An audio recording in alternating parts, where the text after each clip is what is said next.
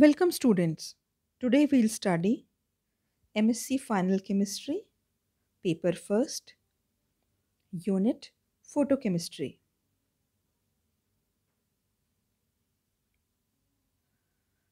What is photochemistry?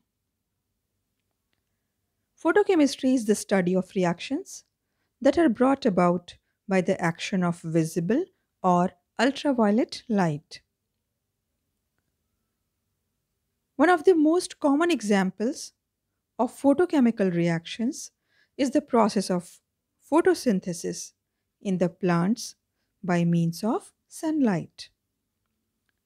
The carbohydrates obtained form the basis of life on our planet. Why do we need to study photochemistry?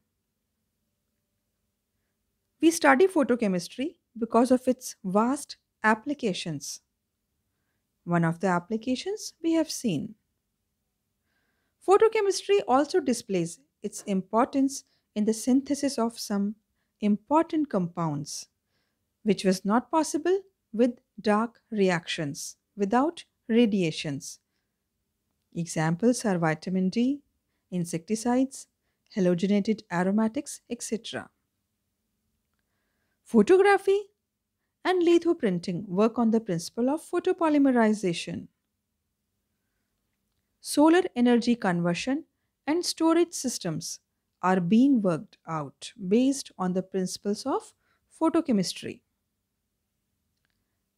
There are many more important applications which we will be discussing later.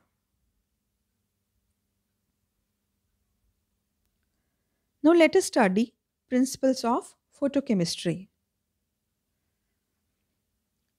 There are two methods of introducing energy in a system. First is by increasing the reaction temperature, and second involves the absorption of electromagnetic radiation in the visible or UV region.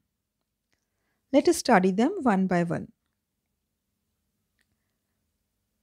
A certain amount of energy, known as activation energy, is supplied to molecules in order to bring about a chemical transformation. Sometimes activation energy requirements are very low and molecules undergo spontaneous transformations even at room temperature. But in most of the cases, additional energy is supplied to the molecules before they undergo a chemical change. And very commonly, energy is supplied by increasing the reaction temperature, which results in an energy distribution in such a way that most molecules present in the system have about the same amount of energy. At a given temperature, molecules which have acquired sufficient energy react. A second method of introducing energy in a system involves the absorption of electromagnetic radiation in the visible or ultraviolet region. Unlike thermal conditions, the absorption of light excites an individual molecule to an excited electronic state without immediately affecting the surrounding molecules. This selective excitation of individual molecules is a unique character of photochemical reactions. The chemistry of excited molecules differs from the chemistry of those in the ground state and so it is often possible to change the course of a reaction by activating the reactants by light rather than by heat.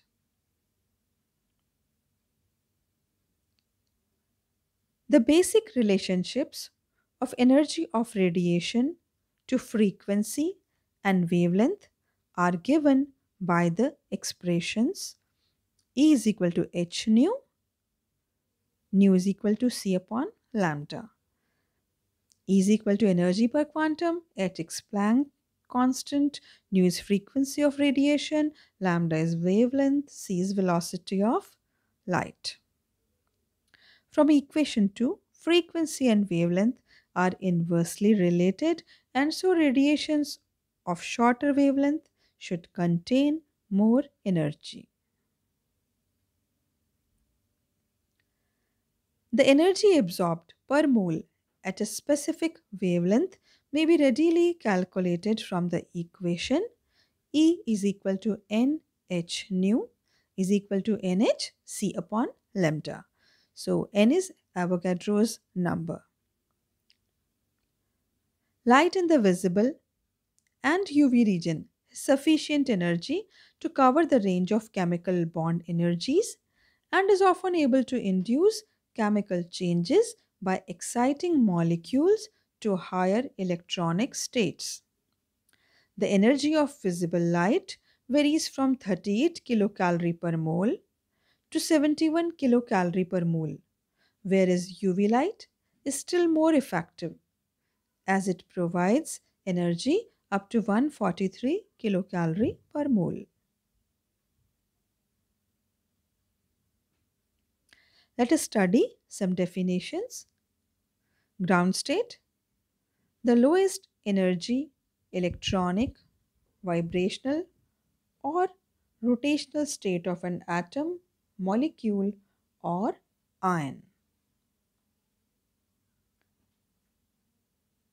Excited state, a state of an atom, molecule when the species has absorbed energy and become excited to a higher energy state as compared with the ground state. Electronic transition. In an atom or molecule, the electrons have certain allowed energies only. If an electron passes from one orbital to another, an electronic transition occurs and there is emission or absorption of energy corresponding to the difference in energy of the two orbitals.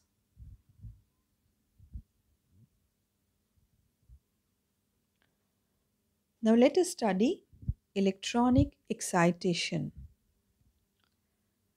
An orbital can accommodate a maximum of two electrons.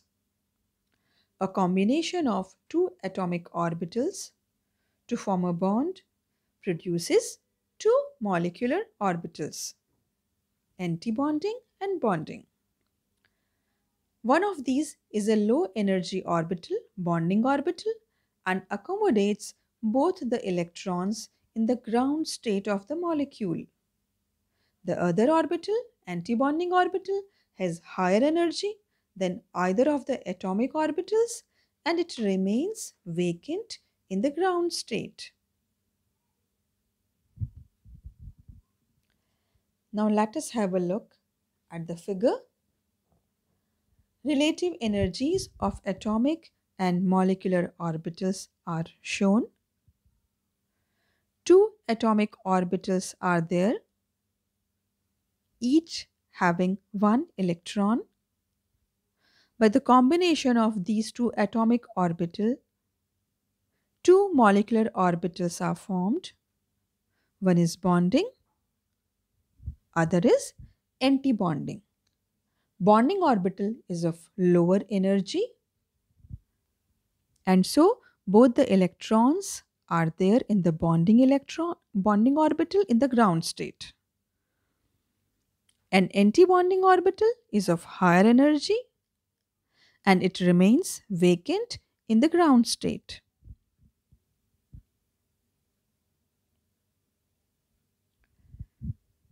Here in this figure, you can see bonding and anti-bonding molecular orbitals.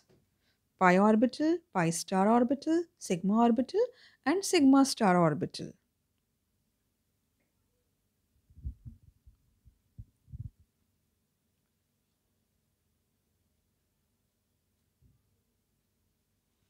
The absorption of light energy by molecules in the visible and UV region involves promotion of an electron from the bonding orbital to the corresponding antibonding orbital. The antibonding orbitals corresponding to sigma and pi bonds are called sigma star and pi star respectively. The shapes of sigma, sigma star, pi and pi star orbitals are shown in the figure. We have seen it just now on the previous slide. As the non-bonding electrons in are not involved in the bond formation, there are no antibonding orbitals corresponding to them. Excitation promotes a non-bonding electron either to a sigma star or a pi star.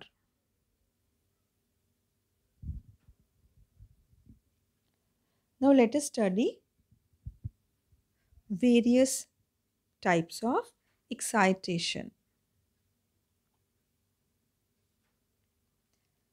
There are four types of excitation found in most of the organic molecules.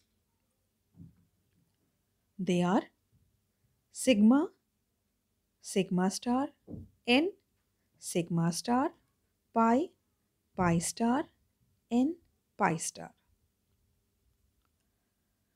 The energies required for sigma sigma star and n sigma star transitions are usually very high, requiring a wavelength of far less than 200 nm. Although photochemical excitation may be effected using such light, this is relatively uncommon because strong absorption by atmospheric oxygen below 200 nm creates complications and hence irradiation must be done in vacuum.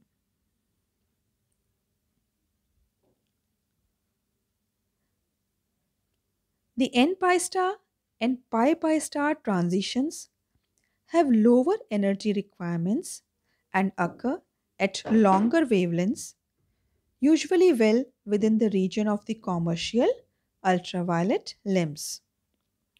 Both types may be illustrated with a saturated aldehyde or ketone which absorbs at two wavelengths, one around 285 nm and the other around 180 nm. The absorption at 285 nm is due to the excitation of an electron from the non-bonding orbital n to the lowest unoccupied pi antibonding orbital pi star. And since this transition requires less energy than other electronic transitions, sigma, sigma star, pi, pi star, etc. It occurs at the highest wavelength. The other absorption around 180 nm is due to the promotion of an electron from the pi bonding orbital to the pi star antibonding orbital. It requires more energy than the n pi star transition.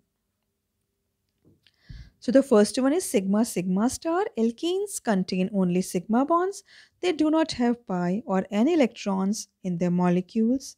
Therefore, they can be excited in this way.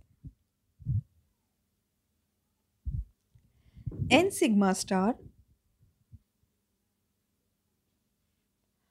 Oxygen and nitrogen atoms of alcohols, amines, ethers, etc. contain unused lone pair of electrons N, hence they can be excited in this way.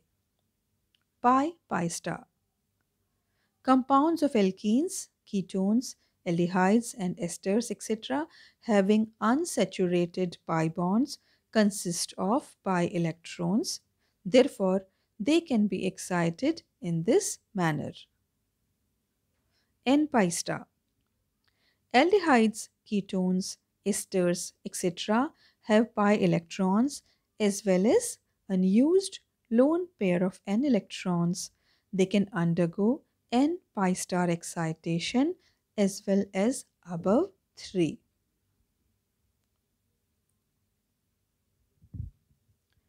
In the figure, you can see different types of electronic excitations. Out of the four excitations, sigma sigma star excitation requires the light of highest energy followed by n sigma star, pi pi star, n pi star.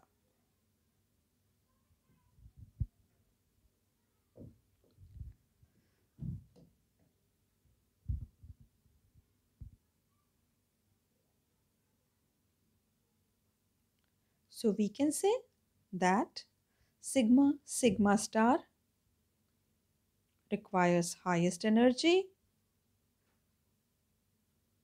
Then comes n sigma star, then comes pi pi star, and then comes n pi star. Just have a look at the figure.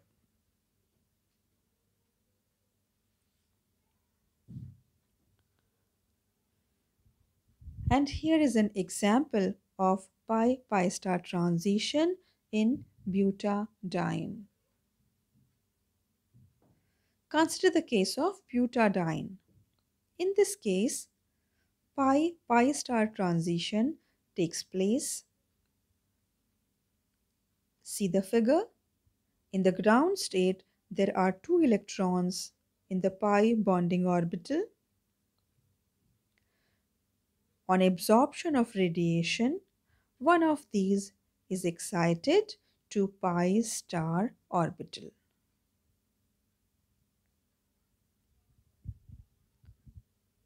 Thanks.